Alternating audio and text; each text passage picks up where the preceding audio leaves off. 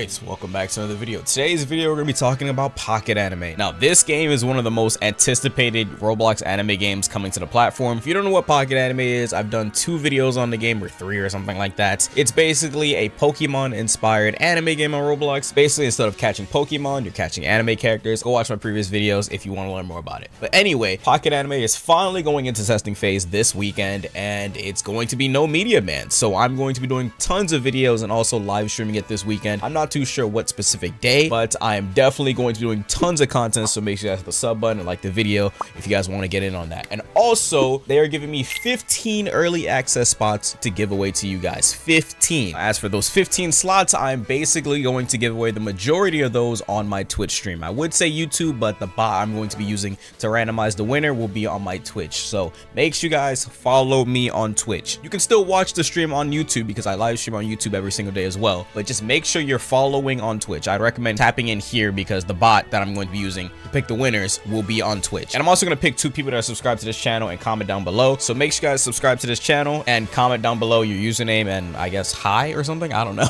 but yeah, I'm going to pick two people here and I'm also going to give out a lot more spots on Twitch. I don't want to give out too much on YouTube because the way of picking through YouTube is like a little complicated and I want to give away as much spots as possible so the people are going to actually tune into the streams and watch me live play the game. So I'm going to be playing a bunch of Pocket Anime this weekend. I'm not too sure what's going to be in this testing phase. I don't know how much gyms or whatever the hell you want to call it it's going to go up to, but I'm going to be going through everything. I'm going to catch everything. I'm going to do full guides, break down everything. I got you guys. Make sure you guys subscribe and tap into the Twitch streams. And uh, yeah, that's pretty much it. I highly recommend if you guys don't know nothing about Pocket Anime, you please go watch my other videos. Pocket Anime is probably the most anticipated game, at least for me at the moment when it comes to Roblox games. If you don't know me, huge Brick Bronze fan, and since Brick Bronze is gone now, I'm hoping Pocket Anime can fulfill that void for me. So yeah, I hope you guys tap into the live streams on Twitch. I'm at, uh, how much? 76k followers, so hopefully we can get to like 80k by the time the game is open. Like I said, I don't know what day and what time the game is gonna open, but make sure you guys follow me and turn notifications on on my Twitch, and you will definitely know when I'm going live because I'll say it everywhere. I'll tweet it. I'll put it in my Discord. Trust me, you'll know